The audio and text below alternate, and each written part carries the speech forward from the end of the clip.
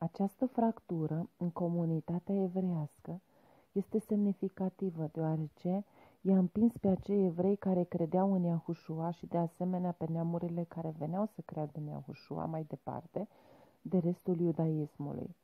Această diviziune le-a dat neamurilor, ieșind chiar din cultura romană păgână, care nu aveau nicio atenție evreiască credinței lor, o voce mai puternică în problemele comunității și în interpretarea scripturii. Polemica antievrească poate fi găsită încă în învățăturile lui Ignație, episcopul Antiohiei, de la sfârșitul primului secol.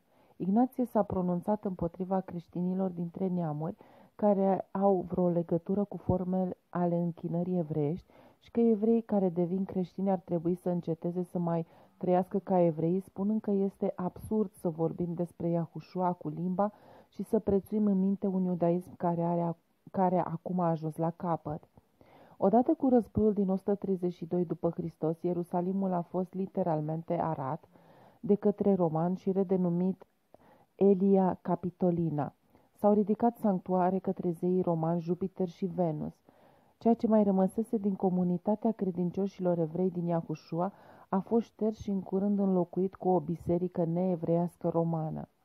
Roma a continuat să distrugă cea mai mare parte a iudeii, distrugând 985 de orașe și ucigând peste jumătate de milion de evrei.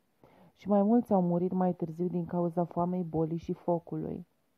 Roma a adoptat apoi legi dure care interziceau închinarea în șabat, sărbătorile evreiești biblice, ritualurile evreiești publice și citirea Torei. Acesta este parte din motivul pentru care a mers de la șabat la închinarea de sâmbătă și duminică. Evrei, inclusiv cei care l-au urmat pe Iahușua, nu aveau voie să se afle la mai puțin de 100 de mile de oraș. Neamul succesorilor evrei al lui Iahușua și Iacov s-a încheiat și în curând a urmat un șir de papei neamurilor. Conducerea acestei mari biserici a neamurilor a adoptat rapid poziția guvernului roman cu privire la evrei și a fost în mod evident ostilă față de orice evrei, inclusiv față de Tora. Numeroase doctrine false au fost stabilite încă din secolul al doilea.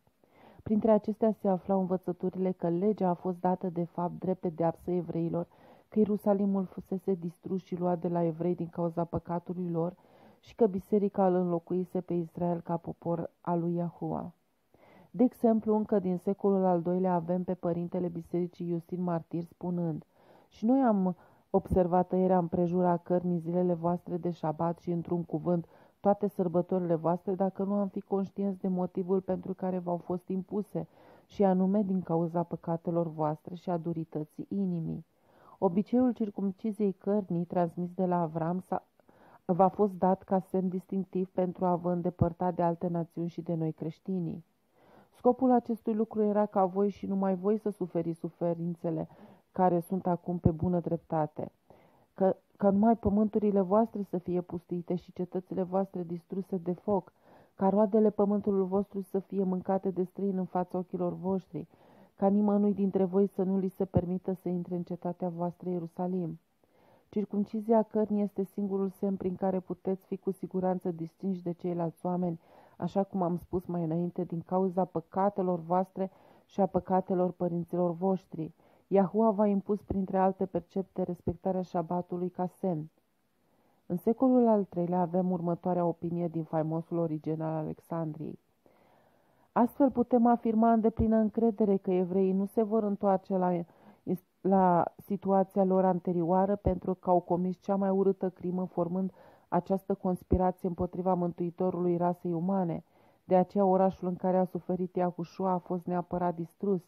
Națiunea evrească a fost alungată din țara sa și un alt popor a fost chemat de Iahua la alegerile binecuvântate. Atitudinea acestor doi părinți ai bisericii nu a fost o anomalie. Întreaga societate romană din timpul lui Iahușua și Pavel era extrem de antievrească. Unul dintre motive este acela că multe familii romane își pierduseră fie în războaiele evreiești. Intelectualii romani din acea vreme au scris mult material disprețuitor despre evrei care locuiau printre ei. Societatea romană era păgână și se concentra în jurul cultului multor zei. În mijlocul acestei situații se afla o societate evreiască de aproximativ șapte milioane, aproximativ 10% din populația romană, o minoritate foarte vizibilă. Evreii erau disprețuiți pentru practicile lor religioase deosebite și pentru eșecul de a se închina zeilor Romei așa cum erau obligați să facă orice alt popor cucerit. Noi creștini dintre neamuri au ieșit din acest context și nu au avut nicio considerație pentru nimic evreiesc. Odată ce conducerea evreiască a fost înlăturată, schimbările au fost imediat puse în aplicare cu, puține, o, cu puțină opoziție. Legile antievreiești continuate, adoptate de guvernul roman, au asigurat că nu va mai exista întoarcere. Constantin, împăratul Romei din secolul al IV-lea, care a rămas un adorator păgân al soarelui până pe patul de moarte, a susținut că a avut o viziune care l-a condus la legalizarea creștinismului. Aceasta a inițiat uh, un proces care va face în cele din urmă creștinismul păgânizat religia Imperiului. Acum, dacă era evreu și ai fi vrut să crezi în Mesia, trebuia să renunți public la toate lucrurile evrei și să devii creștin.